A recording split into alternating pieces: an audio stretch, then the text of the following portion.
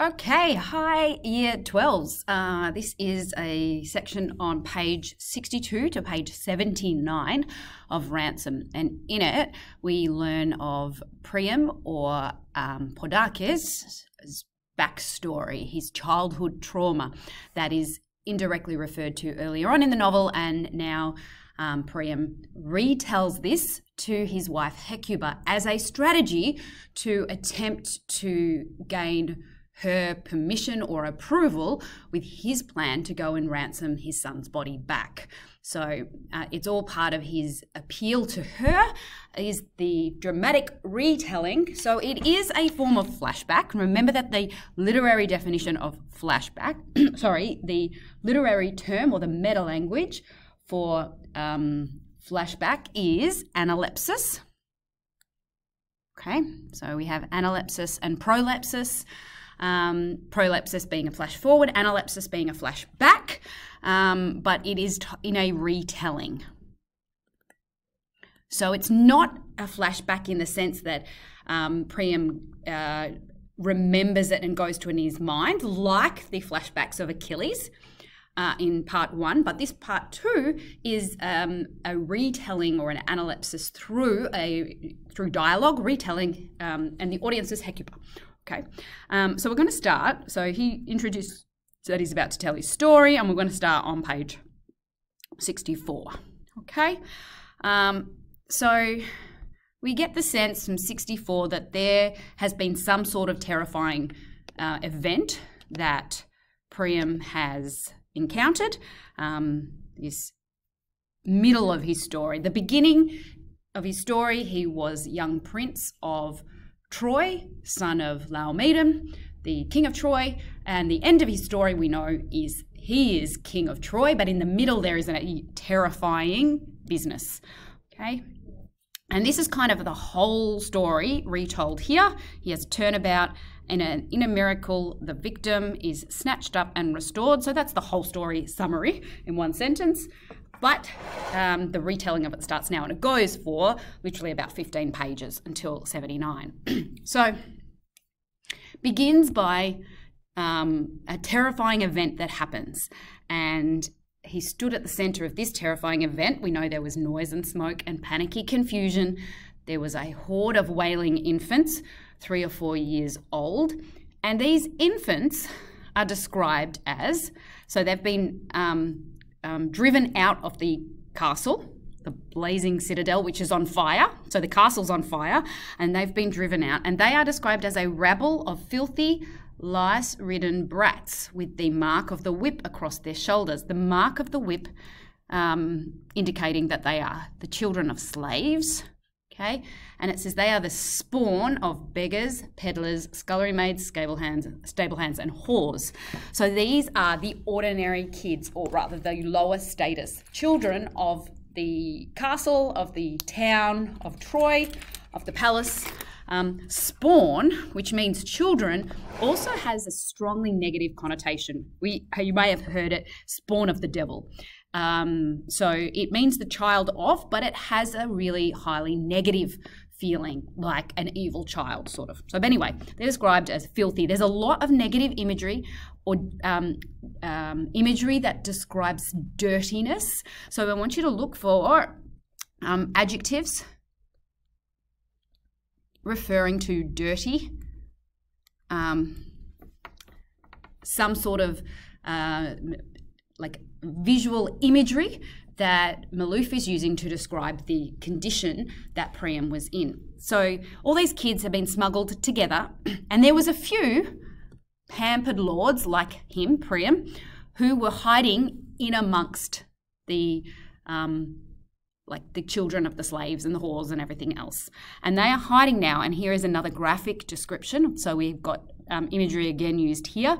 They're hiding, they're smeared with shit to disguise the sweet scent of herbs on their skin. So they're hiding the fact that they're clean because they know if it's known that the children of lords are hidden amongst there, they will be killed like their brothers who've had their throats slashed. Okay. Um, So we get the sense that there's been some sort of war, some sort of invasion of Troy, um, and the enemy have rounded up the young kids. So they huddle in groups. Um, they're half asleep. There's been a slaughter, and they haven't had a drop of water. The smallest are blubbering, crying for their mothers. They cling together. They're all grimed with ashes and streaked with the dried blood of whoever it was whose arms we were snatched from. So they're dirty, they've got filth, they've got shit, they've got dried blood. Um, they've got all kinds of things that are dirtying them. Notice the imagery there too. Okay, and there's a group of guards watching them. Um, and they are terrifying, especially to somebody like Priam, who's only ever known people who will fulfill his every need. Okay? And occasionally they toss handfuls of crusts into the crowd and they laugh. So they throw these bread crusts into the crowd of kids and the mob of hungry, half naked urchins fall upon them and they start fighting each other, biting, gouging, howling. Note the asyndeton there.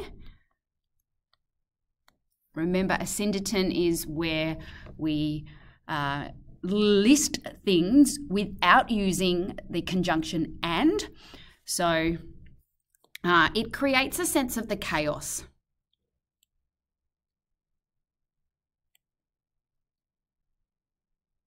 But when they actually start fighting each other and hurting each other, the masters, um, the guards, actually step in and break it up because these kids are properties of their masters, they're future slaves.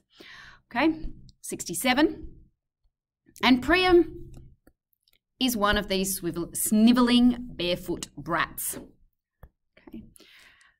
So he's six years old at this time, and he hopes that he is indistinguishable for because his survival depends on it from the offspring of the lowest scullion. That would be a good quote to learn. Instead of saying lower class, you might use offspring of the lowest scullion. Um, it's just a way of using a textual reference to uh, describe the type of people that were there. Um, so he makes himself small and notices that the people he is hiding amongst, so the kids that he's hiding amongst, are actually palace slaves. So any one of them could actually say, hey, that's the prince. Um, so they don't make eye contact. And he's describing that what this contrast is like to be in one moment the pampered darling. Okay, so at one moment he's like the um, privileged pampered prince, um, and there's some detailed descriptions of his privileged life there. And then, um, so at one moment, he's Podarches. Now, some people say Podarces. It does not matter. Both pronunciations are acceptable in the Australian Style Guide of English. Podarches, I think, is the way that it's pronounced in Greek, um, according to a colleague of mine who happens to be a fluent speaker of Greek. Um, but Podarces would be the accepted English pronunciation. I don't mind, you can say which, whichever. Actually, in your essays, you're going to be writing them, so it really doesn't matter. But I do want you to remember the spelling. The danger with saying Podarches is you might write it with a K, but it's so um, for that reason, whatever helps you to learn the spelling of it. Okay, so but this is actually where we learn Priam's name for the first time. His original birth name. He was Podarches, son of Laomedon, king of Troy. So at one moment he's that, and at the next moment he's just one of a rabble of slave children. Okay, and then he has this smell on him, and the smell is like there's repetition um, the smell on me, the smell of another order of being, a foul slave smell, um, that really emphasizes the sensory imagery here, which is olfactory imagery. Olfactory means your nose. So it's if you are analysing this, you could talk about the use of Malouf uses olfactory imagery to emphasise the stench or the smell that is on Podarches as a kid. Um, and that um, smell will be representative of his perceptions of himself. And, um, So this has always been secret. Now, up to here, you notice the quotation marks. That's indicating dialogue. That's the retelling of this analepsis, this um, flashback. But um, here, just for this little section, we move to present tense. Um, and he is feels that this is so shameful. It's been a secret in him. He's never told anybody else ever. And then he continues with his story. Um, and there is a description at the bottom of 68 and the top of 69 about a road, narrow, white, winding off across the plain, dwindling into a smoky haze. So there is this road, and that road leads to slavery. That's the road he. Notice the use of italics there um, to emphasize the significance of the he. We don't know who he is at this point. Comes a bit later on. Um, but anyway, the way I see it is this it's like a Y intersection, and there is two paths. And one is the road that you actually take, and this is like the key moment, the defining moment. And if you took this other path, your whole life might be different. This road that's described is the road not taken. Um, lots of poems and things in history, even a whole uh, film, if you've ever seen Sliding Doors, is about the road not taken. Like what happens if this one key moment in your life, if you catch the train or don't catch a train. That was the premise of the whole film, um, Sliding Doors. Now, I don't know. I read this and I'm not sure whether it's actually a road that the slaves go down physically or it's a metaphorical road. In any case, Malouf doesn't really make it clear. You can decide yourself whether you think it's an actual road or a metaphorical road. But this road leads to slavery. The one that Priam went down, obviously he's king, um, is a different road. But he talks about this road, this metaphor. This road, he can still see it. The road my other self went down. So, not the road I went down, but the other self. To a life where you and I, my dear, remember that the audience is Hecuba, never met. So, going down the road I didn't take led me, would have led me to a life without you. In the same body, but a different life. And that life too, I have lived, if only in a ghostly way. So, um, it's, it's like perhaps, and you can interpret this how you will, but I really think this means that in his mind, he's actually lived this other life because he's thought throughout his whole life, what would it be like if I had that life? So, that I think is what it means in a ghostly way, like he's in his imagination.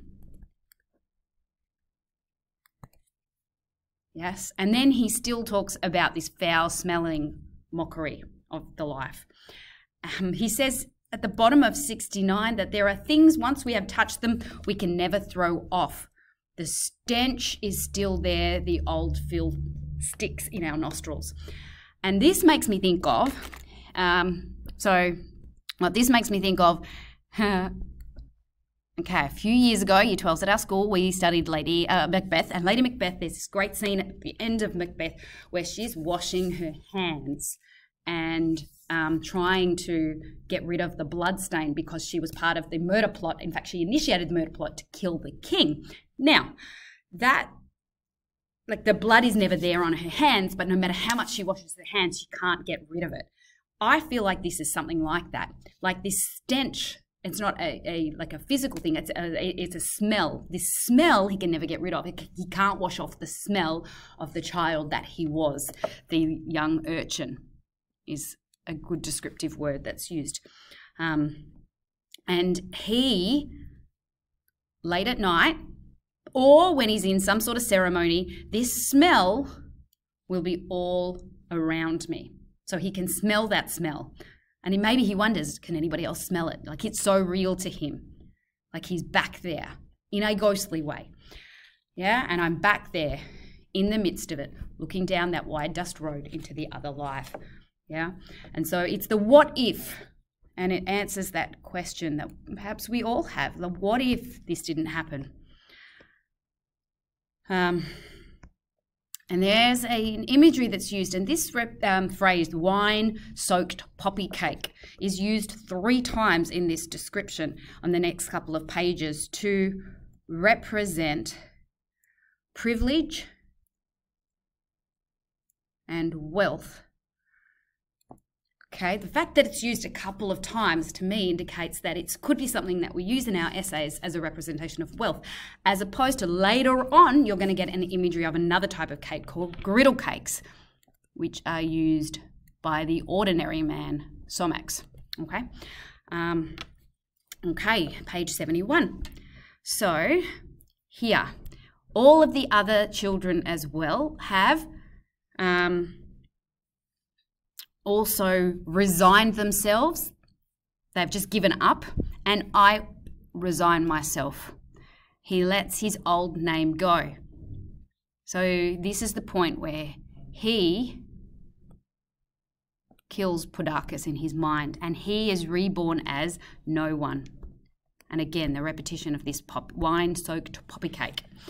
Um, and here, he's reborn as no one. So, I think at this point, the fact that it's capitalized, no one, to me indicates that he's like given himself a new name. Like, I have no name. Remember the longest memory from last year. Okay. Um, so, I have no name. I am no one. Okay. Um, so, he names himself no one. Um, but only for a short time because he's about to give a new name over the next page. But here, the moment of being saved, bottom of page 71. Podarces and his sister, I do not know how to pronounce this name, Hesione, I don't know.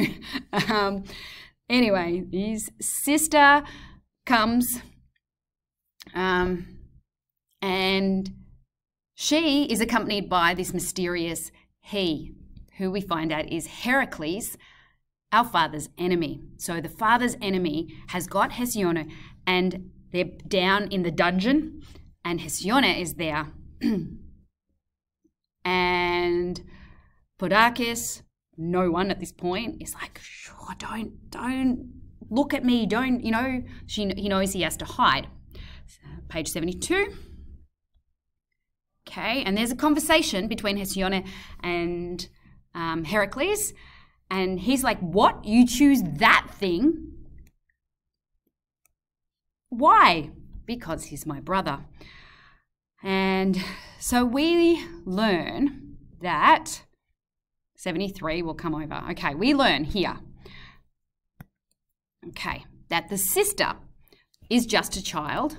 She is going as a prize of war to Heracles' friend Telamon, and he said she can have as a gift whatever she chooses, anything her bright eyes light upon. And they think that she's going to choose a gaudy trinket, a bauble, like a piece of jewelry, a mirror, something to catch her smile in. They think she is, um, hmm, what's the word?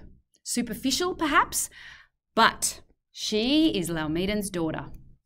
She instead, perhaps she knew that um, that Podarces was down there Maybe she was part of the hiding them there in the first place, who knows? But she went straight down to the horde of filthy, tear stained urchins and searched among them and chosen me, Podarces.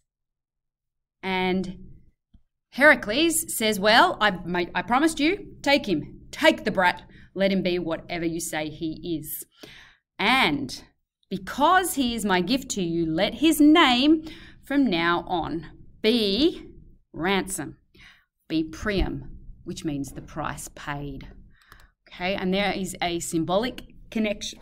So you can use the word that his name symbolizes the key action of his life, so a defining moment of his life.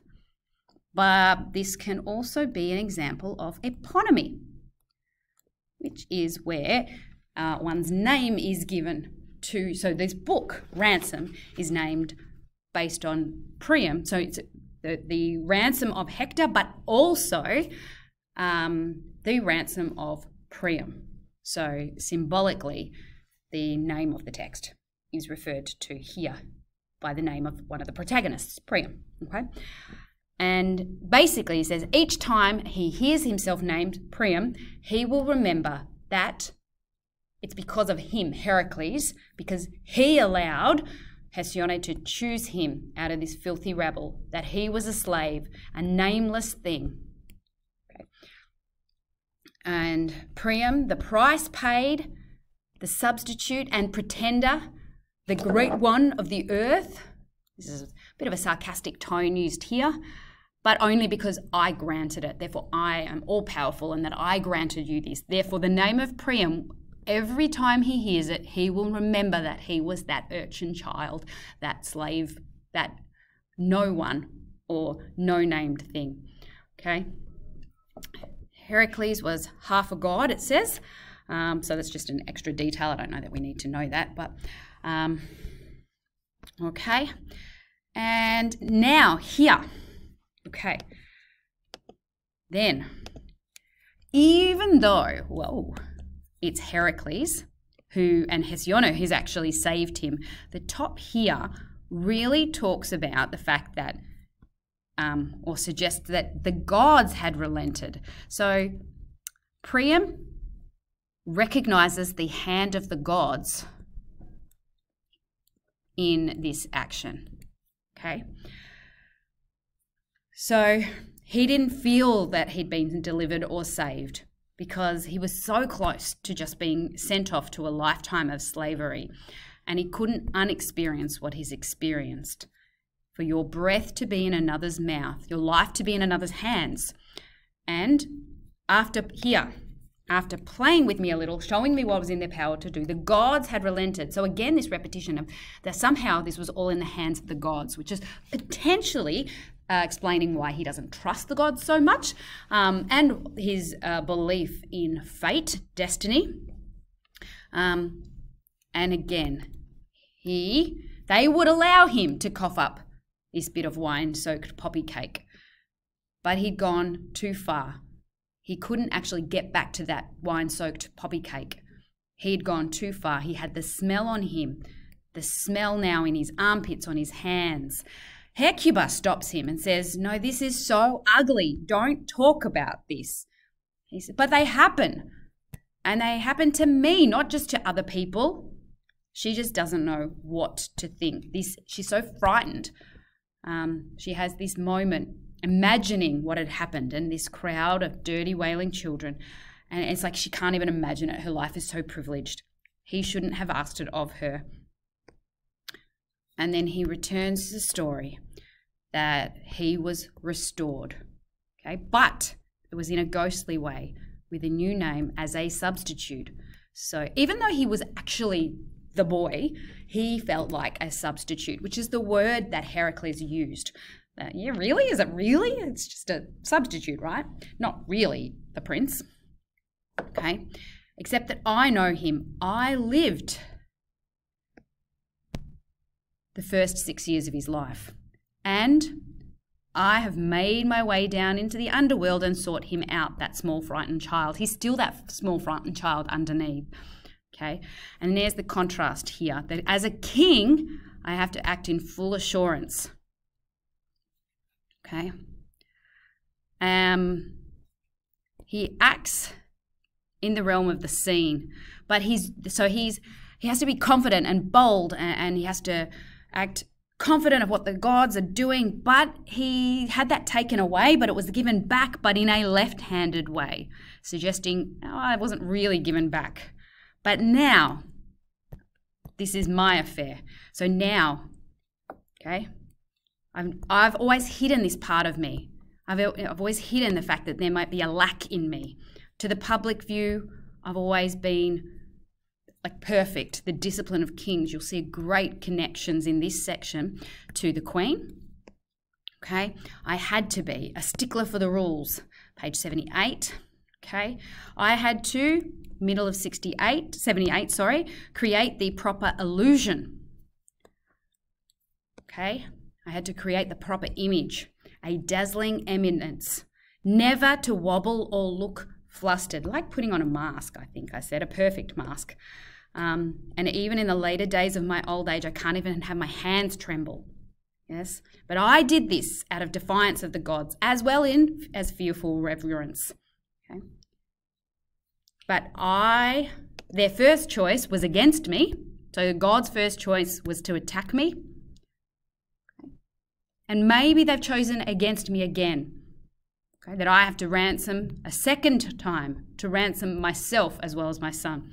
And here, so it's a really significant moment to go. We're going to Achilles not in a ceremonial way as my symbolic self, the king self, but stripped of all glittering distractions and disguises as I am. That little urchin, that slave, Podarkes. And that's the end of the story. Hecuba is kind of resigned herself. She's silent. She doesn't really say anything, but then she says, Let's not talk of this anymore. You go have a bath, and I'll summon your sons and the wisest of her council. Let's say what they have to say. It's like she gives up.